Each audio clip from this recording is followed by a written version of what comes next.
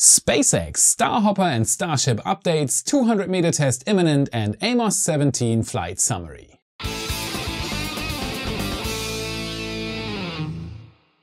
My name is Felix and I am your host for today's episode of What About It. My last three episodes were from the new What About It in-depth spin-off as you might have noticed by the title. I chose to make a difference here as I actually got comments from people asking me if I was still doing SpaceX news and that they didn't recognize it as a normal What About It episode. So do not fear, you still get your SpaceX updates here, but if there's nothing happening and I feel like it, I'll do these in-depth episodes about a single topic. So now I created this pre-title to make it clear even before you click on the episode if it's an in-depth episode about a single topic or if it's just a normal space news. Now that we got that out of the way, today's episode is not an in-depth episode about a single topic. Today it's all about the SpaceX progress and there has been a lot, so let's dive right in. Starship updates. SpaceX is really accelerating their progress beyond anything right now. A good title for this episode would have also been How to Build Two Spaceships Insanely Fast. Since I reported last on it, we got two new ring segments stacked. The interesting thing about this is that it's already passed some of the estimates on how tall the orbital prototypes would get. This is turning into some sort of Tower of Babel thing, and don't forget about it, these two orbital prototypes are supposed to go into orbit with three engines. Elon made it clear once more that the two teams in Boca Chica, Texas and Cocoa, Florida are racing against each other. They're allowed to help each other and share knowledge, but ultimately it's a race. And no matter how many disbelievers are out there, these two orbital prototypes are supposed to go into orbit. We're not talking 500 meters or 5 kilometers, we're talking at least LEO with 100 kilometers. And again, according to Elon, until the end of the year, that's lightning fast progress shown by the teams in Boca Chica and Cocoa. Next up, we have more and detailed pictures of the welding marks. I'm showing these in full screen here as I had requests for it, so here you go. They look very precise and are definitely following a distinct pattern. We have different theories already, from shrinking the metal to stiffening it. They also could well be related to the methane transpirational cooling system. Elon stated that this cooling system, which makes Starship sweat cryogenic methane, cools the hull and gets rid of the heat much like an ablative shield, where the heat is transported away together with the ablated material from the shield. It's all still speculation if these marks on the hull have anything to do with that cooling system, but we'll get more information hopefully at the Starship presentation in Boca Chica on August 24th. Next up we have news on the 200 meter hop test we're all still waiting for.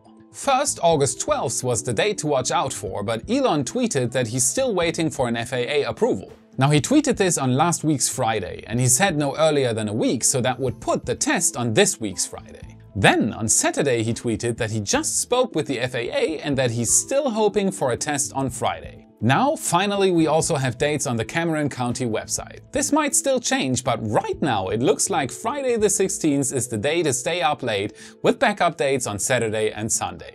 The hop will be from where it did the 20 meter hop up 200 meters and then to the landing pad. But what about it? What will happen to the Starhopper after the 200 meter test flight? According to sources from nasaspaceflight.com, Hopper won't leave the landing pad alive. It will be cannibalized for parts. So in a week or so, Starhopper will already have a grand finale and then we'll have to say goodbye. Starship will then be put together most likely at the landing pad after Starhopper has been retired. A new and much larger crane is already in place. It's been delivered and assembled last week and it is capable of lifting both prototype pieces up and assembling them. So besides stacking ring segments, it will most likely be used to lift up both prototype pieces for assembly at the pad. And then the sky is the limit. As soon as one of these two prototypes is able to fly, we're going to see the next wave of tests. First up to 500 meters and then all the way into orbit, including a re-entry, exciting times. Access hatches, very similar to those we've seen on the Starhopper, are being installed on the orbital prototypes in Boca Chica and Cocoa. I guess SpaceX has learned a lesson or two from the barbecue hopper. So we can probably expect these hatches to be properly sealed before the ignition. And more rainbirds are being installed at the launch site. SpaceX wants to prevent fires and reduce the sound levels further. Lesson learned again, good job. We do not want to see any more wildfires in the area, bad press and even more important, very bad for the environment.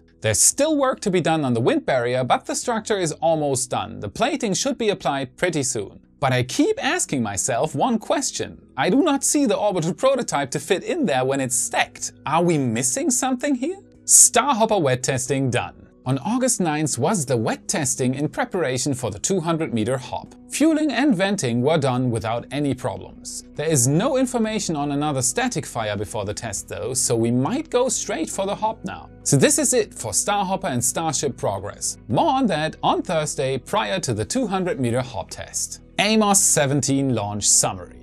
Since my last three episodes were in-depth episodes, as stated at the beginning of the video, I have not done a launch summary on the recent Falcon 9 Amos 17 launch. Though as I love launches, and you might too, consider this one as old but very interesting. So here we go, here's the summary of the Amos 17 launch. On Tuesday, August 6 was one of those precious days for rocket enthusiasts again, when a Falcon 9 goes up into space. As before, on the CRS-18 mission, the 45th Space Wing reported rather bad weather for this launch. The report said only 40% favorable due to thunderstorms in the area and in fact a few lightning strikes were recorded prior to the launch. Though again, the weather had mercy and so at 7.23 pm Eastern Time the rocket took off from Space Launch Complex 40 at Cape Canaveral Air Force Station. This was SpaceX's 10th launch in 2019, which puts them a bit behind last last year's achievement. SpaceX's customer was Israel-based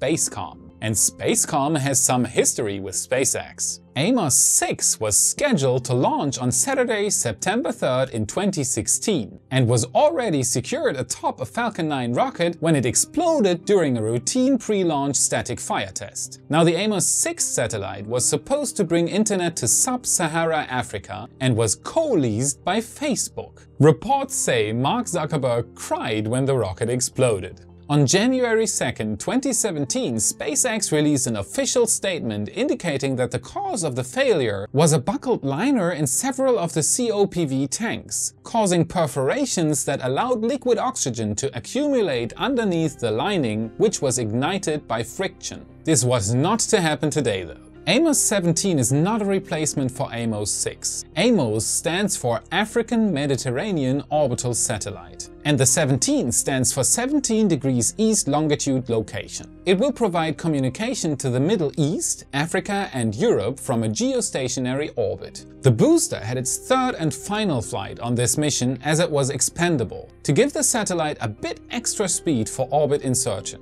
The first stage burned for another 30 seconds, leaving no fuel for a landing. This has the benefit that the satellite is left with much more internal propellant, giving it a greatly extended operational life of over 20 years. So no booster landing this time. Falcon 9 rolled out to the pad at T-16 hours and went vertical at T-12 hours. At T-35 minutes, the propellant got loaded and was topped off at T-6 minutes just before the launch. This is done on every flight for a few reasons. Propellant cost makes up a very little part of the total launch costs, so it does not need to be saved. Though if you top off the tanks on every flight, you always have the same lift-off mass, which makes calculations and procedures much easier. Also, the acceleration can be kept more constant if the tanks always have the same load. And the rocket took off just fine this time. At t plus 1 minute it punched through the cloud layer just around max Q, which is the point of maximum dynamic pressure from the atmosphere for those who do not know. We got a really nice view of the rocket above the clouds from the onboard camera as the Falcon continued its ascent. Then came a nice and clean separation of the first stage and a farewell to a trusty booster as it plummeted back through the atmosphere to crash into the ocean. Fun fact! If you're wondering what a Falcon 9 looks like after 3 years at sea, here's a nice picture.